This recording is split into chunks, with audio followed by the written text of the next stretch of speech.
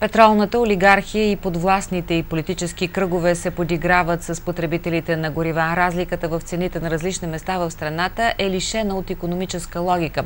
В Бургас, където е заводът производител и мръсният въздух, цените са най-високи. Това провокира обществен негативизъм. Според петролната олигархия и послушните и политици през демократичния преход в Бургас и областта живеят само хора с дебели портфели. Няма иначе логично обяснение защо цените на горивата държат най-високите стоености в морския югоисток, за разлика от останалите градове, като в това ще се убедите малко по-късно. В Бургас крайният потребител същия е този, който е принуден да диша отровите на завода производител и монополист, плаща за масовия бензин 2 лева и 52 стотинки, дизела е 2,56, пропан бутана лев и 19 стотинки, а килограм метан лев и 79 стотинки. Това са стоености почти с няколко знака плюс в сравнение с вътрешността на страната. Няма нищо случайно в това, че стоките от първа необходимост в Бургас са с високи стоености. Водещия мотив е тук зад мен – високите цени на горивата в морския град. Те са точно толкова, колкото и в столицата, с тази разлика, че средната работна заплата в София е 1050 лева, а в Бургас 702. Какво да кажем, например, за Струмица Македония, град на близо 800 км от нефтозавода.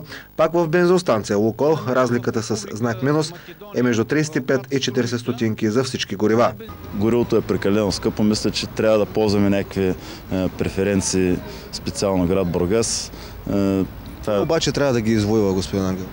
Аз мисля, че местната управа тук в нашия град трябва да ги извоюва тези преференции, които да ги ползваме, защото ние пътуваме, особено нали, нашия таксиметровия бранш. Именно таксиметровия бранш в Бургас е сред най-потърпевщи заради ежедневната консумация на горива, произведени от компания Монополист и в следващите репортажи ще докажем недоволството. Ето и коментарът на монополистите в дистрибуцията на горива Лукойл България и Комисията за защита на потребителите. Аз съм склонна да ви помогна. Просто ви казвам, аз съм не правя цените на горивата, затова ви моля, спрестете си имейла, за да отправя въпроса към колегите. Ние като контролен орган единствено и само можем да видим дали има обявена за единица мярка, т.е.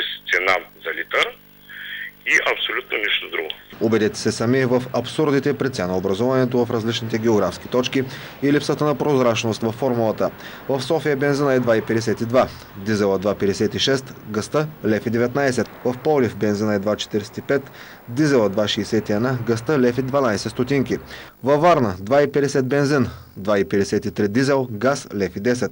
В Бургас 2,52 бензин, 2,56 нафта, лев 19 газ. Стара Загора бензин 2,41, нафта 2,45, газ лев 9. Плевен 2,52 бензин, 2,56 дизел, газ лев 19 стотинки. Кържали 2,43 бензин, 2,47 нафта, лев 19 газ. Търговище 2,37 бензин, 2,51 нафта и газ лев 15 стотинки. Каква е економическата логика, която диктува и определя цените и защо крайният потребител е поставен в патова ситуация и е незащитен? Всъщност, как да е, след като куп сребролюбци, облечени във властта, позволяваха и позволяват да се упражнява геноцид над собствения им народ. При един друг геноцид на времето апостола на свободата, не случайно, е написал в тефтерчето си. Народе с много въпросителни.